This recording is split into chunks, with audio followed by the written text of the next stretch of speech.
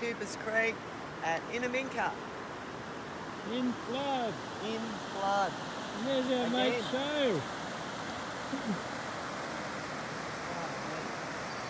This is better than the last one. The last one there was nothing here. And the guy at the store said this is only the first flow down. There's a bigger one coming apparently. Awesome. And there's our mate Show again. Marvelling at the lushness of it all. Look at that Yeah. verdant cream. Look at that.